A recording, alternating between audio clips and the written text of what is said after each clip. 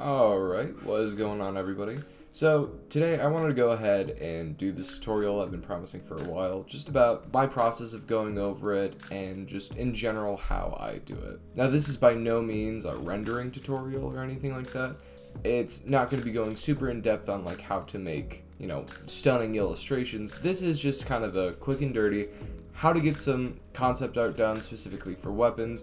Say you're making like a mod for Skyrim or Morrowind or anything like that, um, this is just a good way for you to get some ideas down um, and sort of figure out the process and the direction that you want to go in.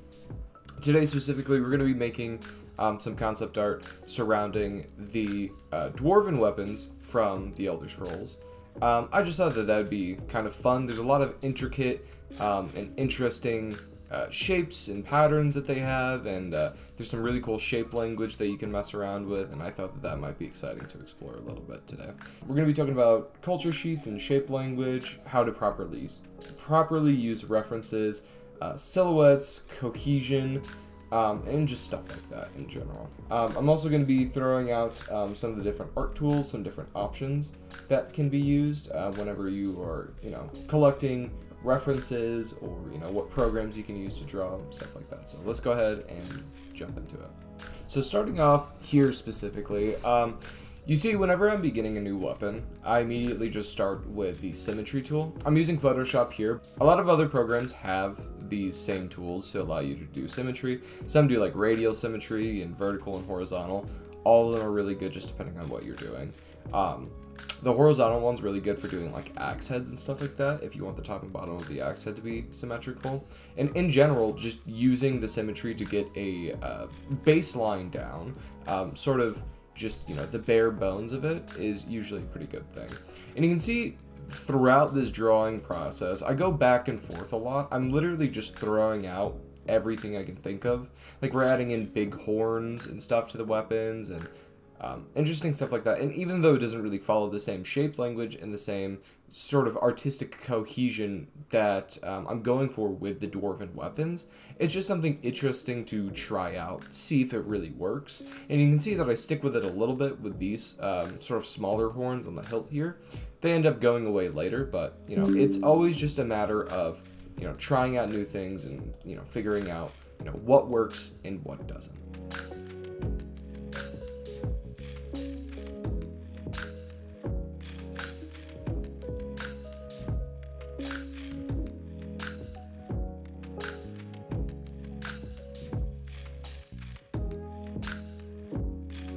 Most importantly right now what I'm doing is starting out with grayscale. And you can see in the beginning where I was just throwing out some very basic rudimentary shapes, just trying to get the whole piece to fit together. Um, you know, starting with the blade and the hilt, you know, trying out different shapes in the blades, even if they don't make a lot of sense for real life, it can still be pretty fun and interesting just to try and, you know, figure out what else there is out there because you don't want to, you know, you don't want to stick yourself in too much of a box, even if you are trying to follow um, something that already exists. So in this case, it being the dwarven weapons, a lot of them tend to have very straight, like dead-on blades, and those are the ones I end up sticking with in the end. But I do try out some more curved stuff, and uh, you know, it's just a lot of what concept art is. Is just throwing stuff at the wall and you know, seeing what sticks.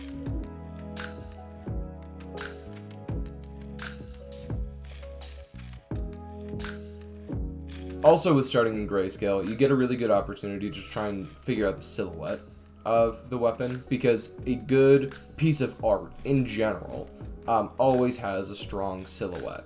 And what the silhouette is, is if it was just one big black image um, and you were just looking at the general shape of it, is that interesting to look at?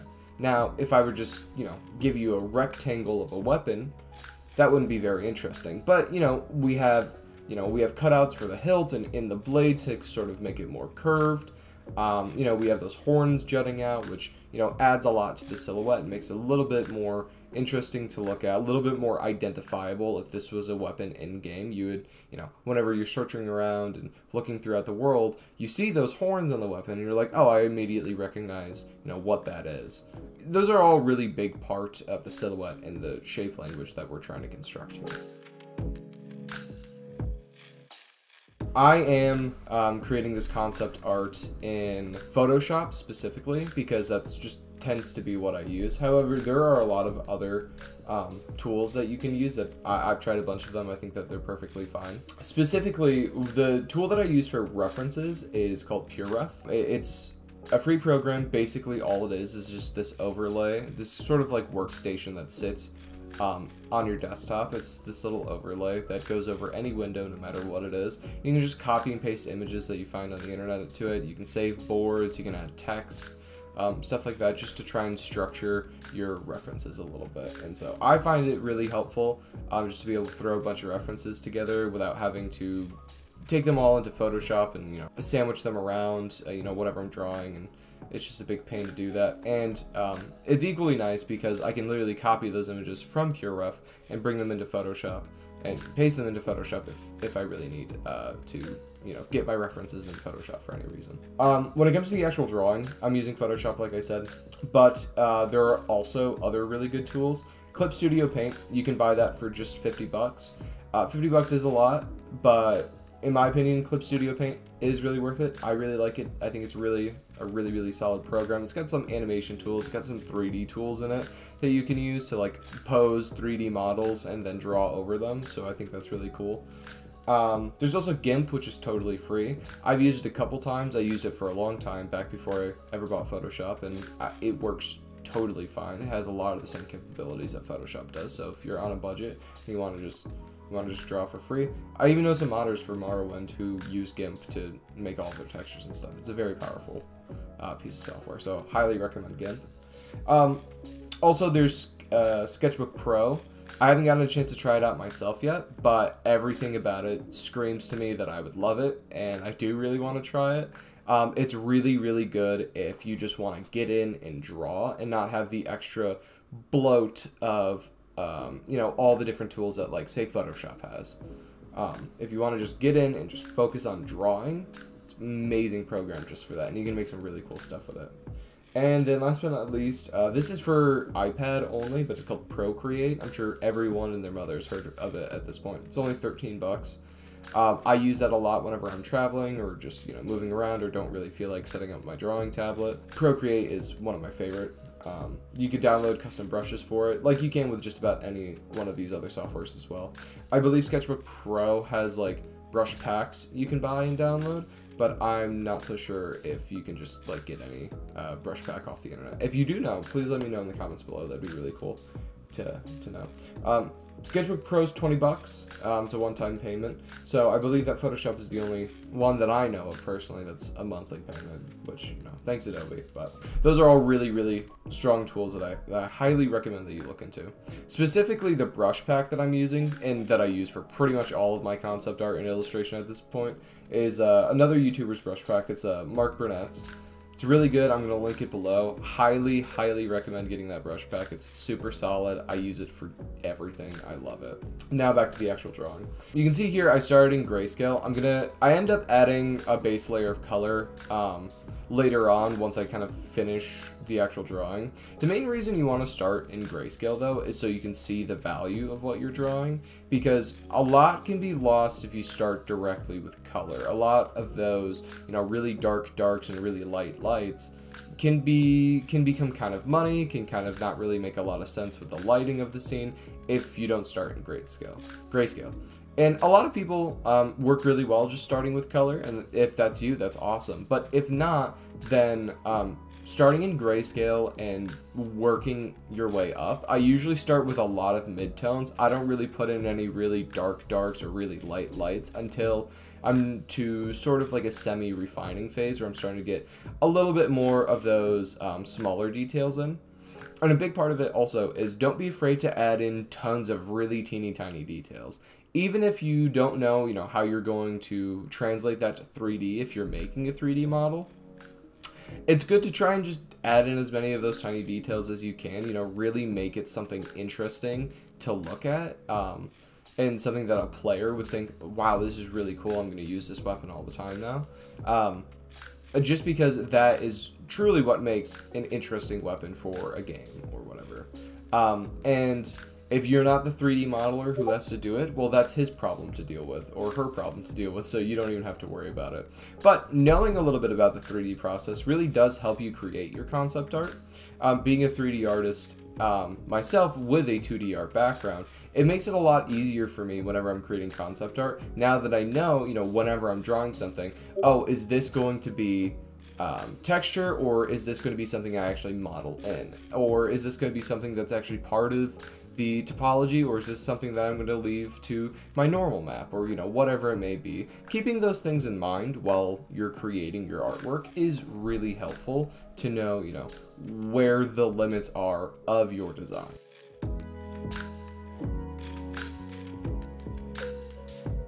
Another big thing that I wanted to mention is the power of thumbnails. Thumbnail sketches are so helpful.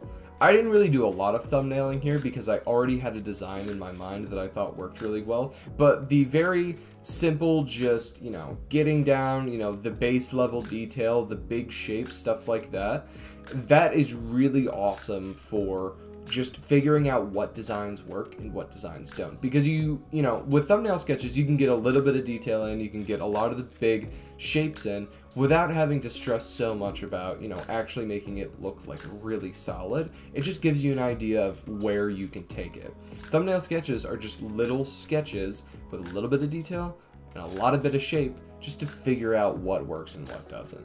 And what's really great about them is that you can then blow them up really big and then you know use the detail that you did put in as a guideline for creating something creating a full illustration if you think it's good enough. But if you don't think it's good enough you didn't just waste like two hours rendering this whole thing that you end up hating and it sucks and you don't want to use.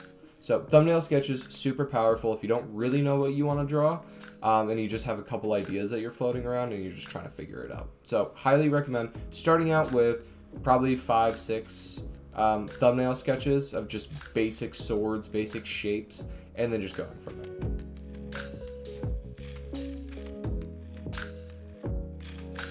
One other thing I wanted to mention is really artistic cohesion. Um, this isn't really that you know, that advanced of a concept. It's just the idea is just making sure that your designs are cohesive across designs, if that makes sense. So you can see the two swords that I um, that I spent a lot of time rendering here.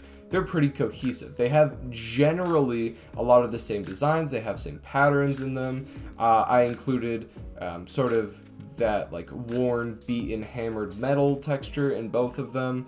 Um, there's a lot of you know, a lot of similarities between the two of them, and I took a lot of those similarities from the Dwarven weapons that I'm basing these designs also off of. So, whenever you're creating something for a game, um, creating a culture sheet, just a general guideline of references to look at, um, and it doesn't have to be just weapons. You've seen my little reference board in PureRef show up a couple times now um, throughout this time lapse, and you've probably noticed that it's not just weapons on there. There's a lot more. I have armor on there.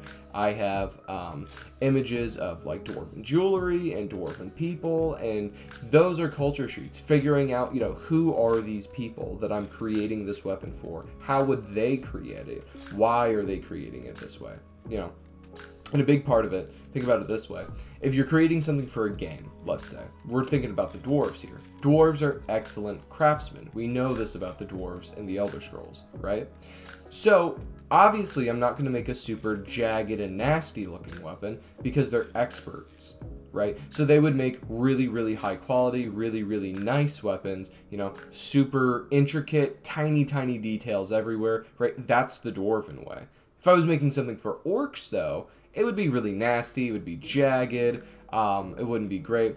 Obviously, Elder Scrolls orcs are master smiths, but we're just, you know, let's just say this is Lord of the Rings dwarves we're talking, or orcs we're talking about, right? You know, not great smiths.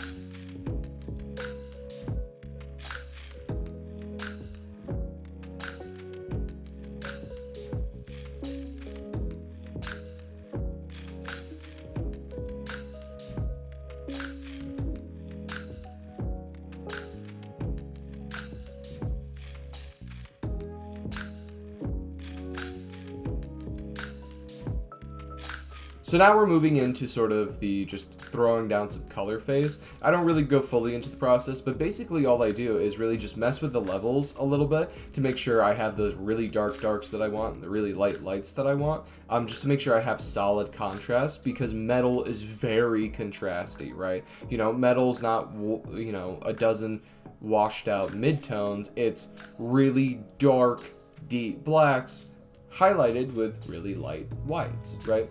And so you can see here um, at the very end, I have a couple different variants. I have the sort of dwarven colors on the right, and again, I didn't fully render these. I did a little bit of paint over added after I added in some of the base colors, but all I did was I took my grayscale weapons that I created, and then I did a little bit of a color balance on them, did a little bit of a level balance on them, and bada bing, bada boom, Bob's your uncle. I have a pretty decent looking concept art right here.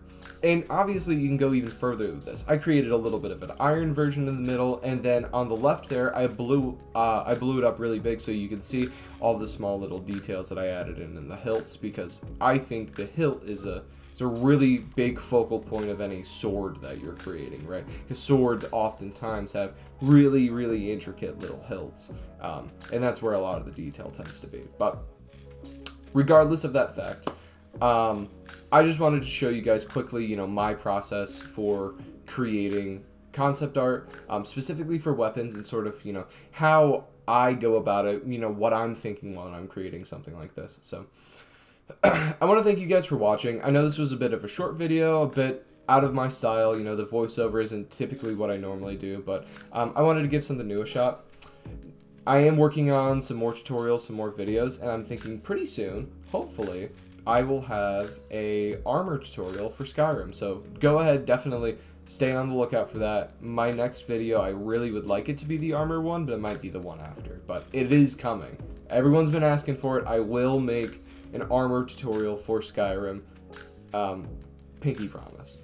Um, but anyways, thank you so much for watching. I hope you guys really enjoyed it. If you guys make any concept art, please send it to me. I'd love to see it. I've also been considering um, making a Discord. I posted a community post about it because um, I had a few people ask me if I would make a Discord.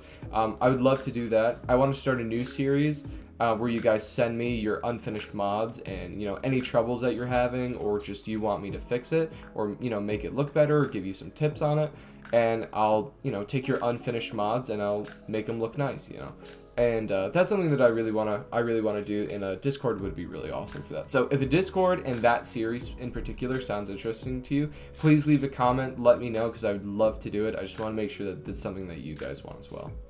But as always, thank you guys for watching. I really appreciate your time and I really hope you liked the video. Let me know what you guys want to see next. I'm probably going to be doing a community poll soon, and so stay on the lookout for that and any videos that have coming up. See you later.